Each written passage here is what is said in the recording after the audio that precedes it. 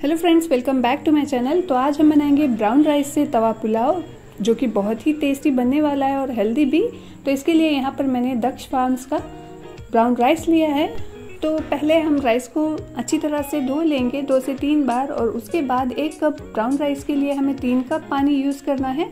Cooker में इसे तीन से चार सीटी आने तक कुक कर लेना है और ठंडा होने के लिए साइड में रख देंगे। तब तक हम इसका जो है पुलाव का मसाला रेडी करते हैं।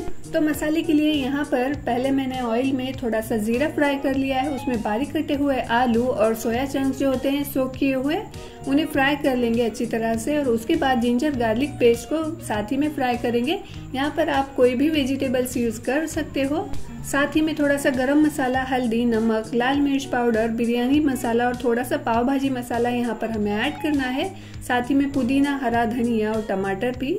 तो सारे मसाले को अच्छी तरह से कुक कर ले और उसके बाद ये हमारे बॉइल्ड राइस जो है ब्राउन उन्हें ऐड कर दे और अच्छी तरह से मिक्स कर ले और हमारा टेस्टी और हेल्दी ब्राउन राइस वाला तवा पुलाव रेडी है।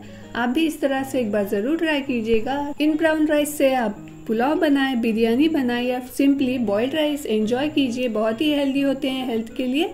तो आई होप वीडियो पसंद आई हो तो लाइक शेयर सेव ज़रूर करें। Thanks for watching